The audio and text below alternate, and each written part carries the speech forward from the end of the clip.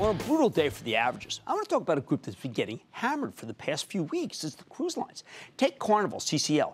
Roughly three weeks ago, the world's largest cruise line reported a solid quarter. Management gave cautious guidance. Stock's been getting slammed ever since. It's down about 12% from its recent highs. Now, there are a bunch of things weighing on Carnival here. Cruise ships consume tons of tons of fuel, so the run-up in oil, even if it abated somewhat today, hasn't been good for the bottom line. But the stock also supports a 3.4% yield, which means it gets less attractive as long-term interest rates rise. You know, you can get 3 3.2% from risk-free ten-year.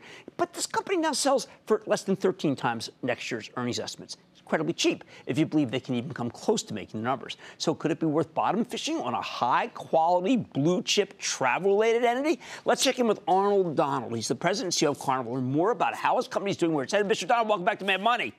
Good to see you, sir.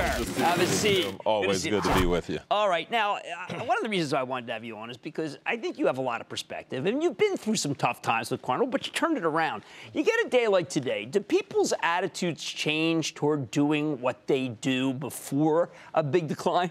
Well, I would hope that one day does not a trend line make. And I know this is mad money. Today was kind of sad money. But, you know, in general, I don't think, um, you know, we'll have to see what the markets do. But for our business, for the cruise industry, the reality is, you know, we're global.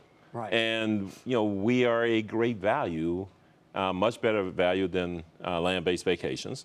And so we're attractive um, in almost any environment. And we sell full. We have no correlation to economic trends? Right, none. It's a secular growth trend. Now, you have a terrible hurricane happening in Florida. Now it's the Panhandle. I happen to live there, and we know. And you're you're from the south. You know that this there are different regions. Right. Would this be something that people would cancel the trips for in the Caribbean? No, I don't think anybody would cancel trips. Even okay. last year, when the hurricanes were in the Caribbean versus right. the Panhandle, they didn't cancel their trips um, unless it was just in a port they couldn't get to to get to the ship.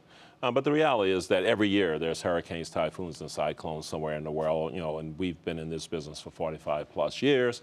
Um, you know, hurricanes are just something that happens. Right. Uh, we sell to over you know, 700 ports around the world. We have 106 ships. We have two or three ships that have some minor rerouting. But for our business, it's not a major impact. Okay, you've beaten uh, the quarter, quarter after quarter after quarter since we see you last. You beat it again. But people are shadowboxing with you. They're saying, listen, there are too many ships coming on. And what will end up happening is, is that you won't be able to charge as much, and not that many people will come to Carnival. But that has not been the case. No, it hasn't been the case, Jim. You're right. We set a record in our last quarter, um, the biggest quarter in the history of the company. We've had consecutive years. We raised earnings, um, expectations, et cetera. So all that's true. Our business is very strong. Um, where we do have capacity increases, as we shared in the quarterly call. Right. Um, in, in um, many places, we have capacity increases. Prices are strong. We're ahead on bookings. So there really isn't a big correlation uh, to capacity either. But there is general concern. Right. So the analysts are concerned that the business is cyclical. Right. And we've been on a run for quite a while, so they're concerned, you know, that we eventually are going to see a turn in the cycle.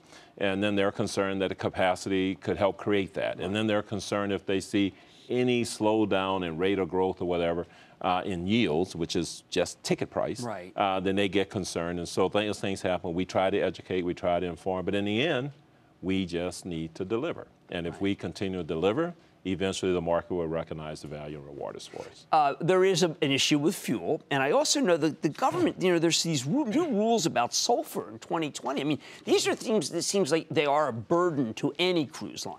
Well, um, first of all, the general fuel fuel prices go up and down, even though oil companies can't predict fuel prices, right. and so uh, that's just part of the business. But I think analysts are smart enough to neutralize fuel and currency and see that that's one-time stuff. It can go either way.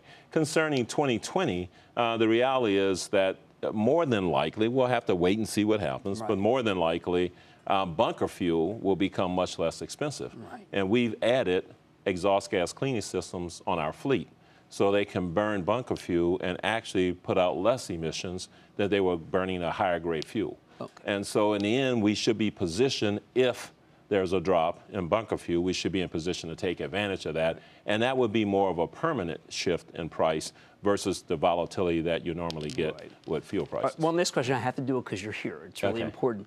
You've experienced some real crises at your company, and you went right through them. There are people right now at home who are saying, why are we talking cruise? We have a genuine crisis in the stock market. Mm. What lesson do you have for people having been through crises that almost no other CEO I know has been through and came out on the other side? I would just say, look, um, you have to look at the fundamentals. And uh, once again, there could be ups and downs and peaks and valleys. But in the end, I always had a strong business to build on. When I came into the job, the business, the foundations were solid. We had passionate employees, 120,000 of them. Guests were having a time in their life on our ships. Our ships were safe and sound. And so that's the foundation I had to build on, and I just built on it. And I, I am not a market expert, right. but I would say, you know, one day does not a trend line make. And the fundamentals and the U.S. economy and the world economy for the long term is what we have to look at. Panic ever help make a decision better? Panic has never helped make a decision better. No. Jeff. Well, you know, I'm glad to have you on the show today because you you have been, and anyone knows this bad knows that you know you had some accidents, had some tough things, but what a turnaround! And because steady hand and rational thinking and long-term view. That's Arnold Donald, the president and CEO of Carnival Corporation, a stock that I've liked ever since he became the CEO. Mad Money's back after the break. Thank you. Booyah! Jim Cramer here from Mad Money. Thanks for watching CNBC on YouTube. Click here to subscribe and get the jump on my exclusives with CEOs, plus market news, investing advice, and a whole lot more.